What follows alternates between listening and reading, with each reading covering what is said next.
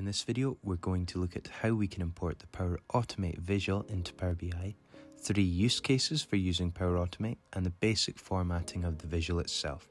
For those who aren't familiar with Power Automate, Power Automate is a standalone tool within the Microsoft 365 apps ecosystem and is used for automating workflows between apps and services for file synchronization, notifications, and data collection.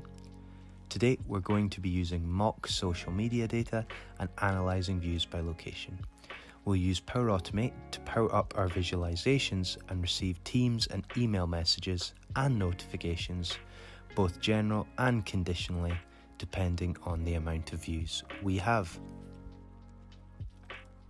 So the Power Automate visual comes as one of the standard Power BI visualizations, so we can click or drag this into a report simply drag in the fields that we want to be reflected within our, our workflow or automation, and then we can go and actually head into the, the Power Automate GUI. That's what will take us into.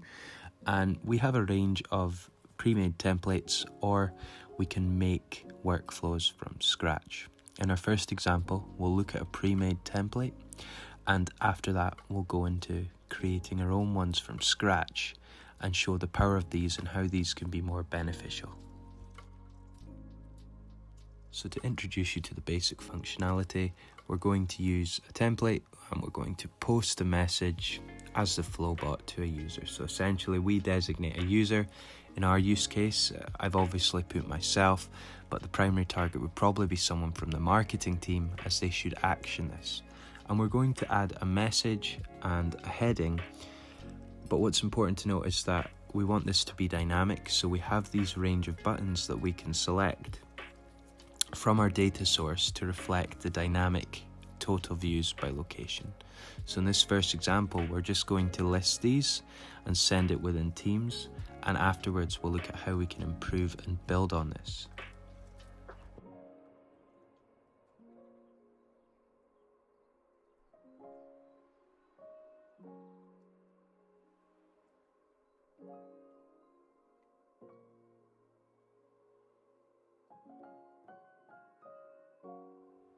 So you can see that I get, when I trigger this flow, I get quite a messy array of Power Automate notifications within my chat.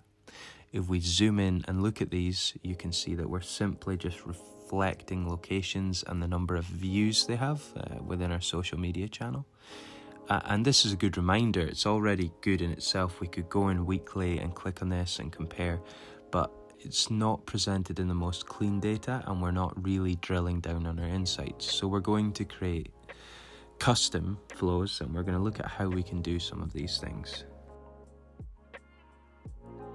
So in this next example, we're going to create a custom flow and we're actually going to introduce a condition. Now, in layman's terms, this condition, we're going to say that the marketing department have deemed any location with over 400 views, equal to or over 400 views, is is a successful campaign in that area. So we want to report on these, let's say weekly. When we look at this report, we can just quickly run the flow and we can get a message or a notification. So I'm going to build something that enables us to do this. And if you pay attention and follow along, you'll see I'm introducing more dynamic content such as the username, the timestamp, you know, the date and time and we're still going to add some boilerplate text and we're going to introduce the location and the, the, total views as we did before. So a lot of the core components are the same, but this is going to add a lot more power.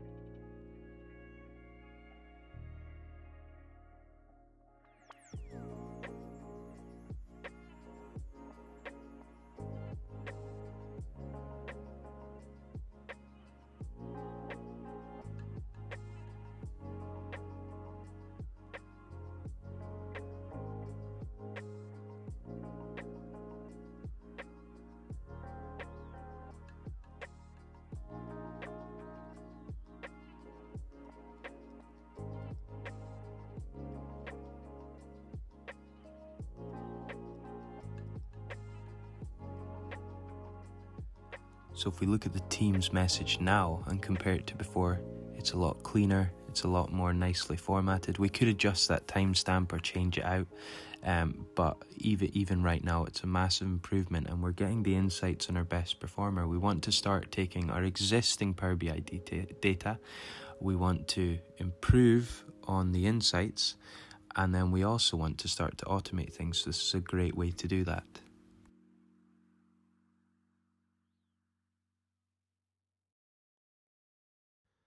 Okay, so for this last stage of the video, I'm going to speed it up and we're going to look at how we can use email notifications to show our failed location campaigns.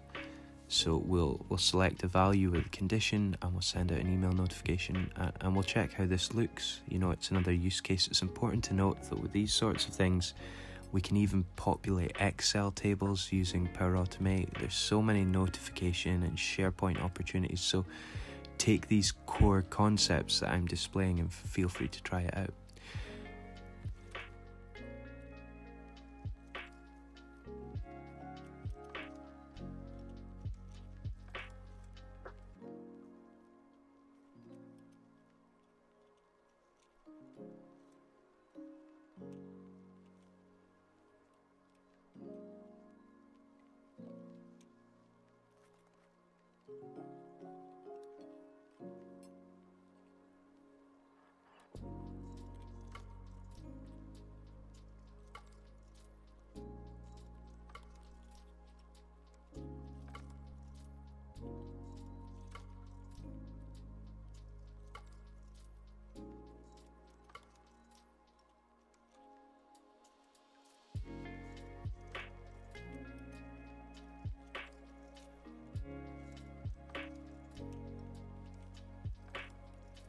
As always, if you like this content or find it helpful, please like, subscribe, comment, and share.